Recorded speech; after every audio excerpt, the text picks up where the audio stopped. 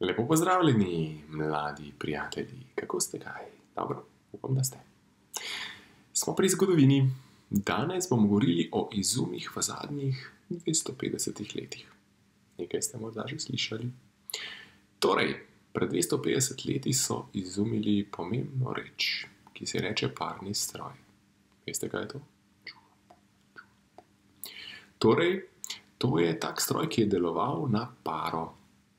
Paro so pridobivali tako, da so kurili les ali pa premog, paro, para pod pritiskom pa je poganjala bate in bati so poganjali različne stroje, črpalke, stroje v tovarnah ali pa potem kasneje so naredili tudi vlake, parnike in tako je energija pare bila pravzaprav začetnik prve industrijske revolucije. Torej, škot James Watt je tisti, ki je parni stroj tako dobro izpopolnil, da ga imamo za nekakšnega uh, izumitelja parnega stroja, čeprav to ni čisto res.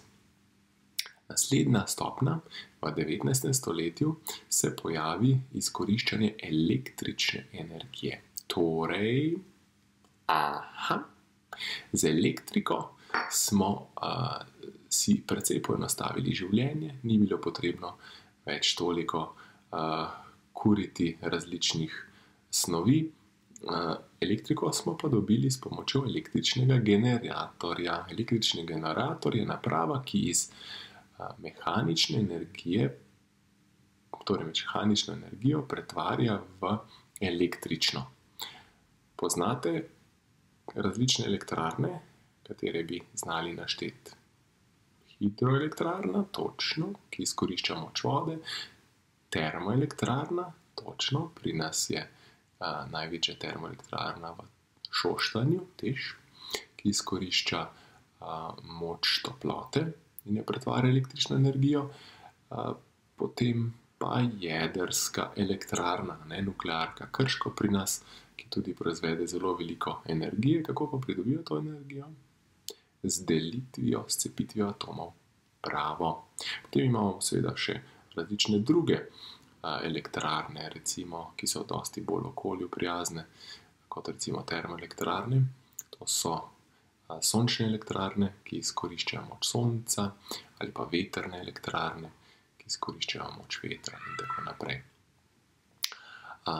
V konec 19. stoletja se pojavi še en pomemben izum in to je motorno notranje izgorevanje. To pomeni, da se pojavijo prvi avtomobili. Daimler in Benz, nemška raziskovalca, sta pionirja torej avtomobilizma in tako se pojavijo prvi avtomobili, ki so bili sicer taki kot malo boljši vozovi, ampak da so šli kar sami. In danes seveda imamo najrazličnejše mm, dobre avtomobilčke, ne, ki so že na elektriko niso več na nafto, ampak nafta še vedno igra izredno veliko vlogo. Torej, že od konca 19. stoletja se njen pomen zelo veča. V 19. stoletju so našli, našli tudi mnoge, mnoge druge izume, to je bilo stoletje skokovitega napredka v znanosti, recimo fotoaparat, telegraf, telefon, kamera in tako naprej. 20. stoletje seveda pa znanost naredi še en velik korak naprej, tudi z atomsko energijo, z računalniki. Približno pred 70-80 leti se pojavijo prvi računalniki, ki so bili veliki, tako kot kakšna ogromna soba, bili so pa dosti, dosti šipkejši kot je recimo tale telefonček, ki se pojavi, seveda, na začetku 21. stoletja, pametni telefoni, mobilni telefoni pa kakšno leto prej. Torej, računalniki so naredili veliko revolucijo v vsakdanjem življenju in seveda tudi današnjega pouka si ne moremo predstavljati brez tele škatle, ne, mhm, računalniki. Torej, morda še kot zadnja izhodišča, zadnje izhodišče za razmislek, kaj bi lahko rekli, kakšne so prednosti razvoja znanosti?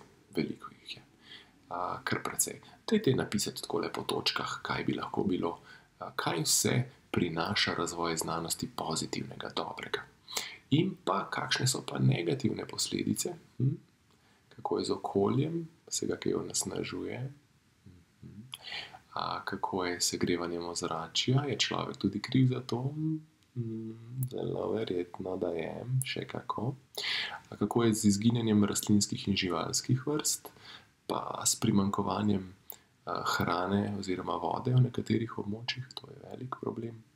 Seveda, zelo velik problem je tudi neenakost med ljudmi. Upam, da se zavedate, da sodimo v zgornji, zgornji del človeštva, torej tisti najbolj bogata. Ne? Bodimo hvaležni za to in učimo se deliti svoje stvari tudi z drugimi. To bi bilo za danes vse. Dragi prijatelji, lepo vas pozdravljam in vam želim še naprej uspešno učenje in nasploh lepe dni. Se vidimo k malu. Nasvidenje, adijo.